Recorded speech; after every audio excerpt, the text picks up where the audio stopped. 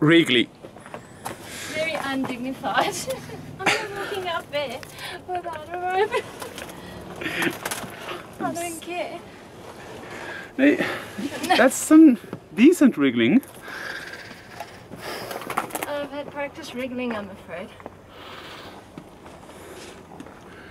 Okay, but now. Oh no, man. I hope we don't have to come.